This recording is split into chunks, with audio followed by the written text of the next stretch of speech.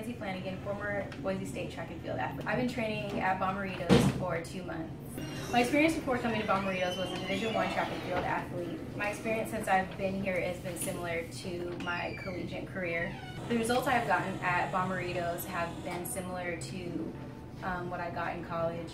My I've been able to maintain my track physique and maintain my. I recommend Bommarito's to anyone trying to get a good workout and to post collegiate athletes trying to maintain a similar athletic lifestyle.